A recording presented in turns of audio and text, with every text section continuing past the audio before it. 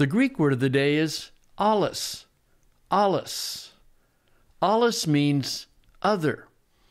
If anyone slaps you on the right cheek, turn to them the allos cheek also. Allos also means another. I will ask the Father, and he will give you allos paraclete to be with you for all time. Allos means other, another.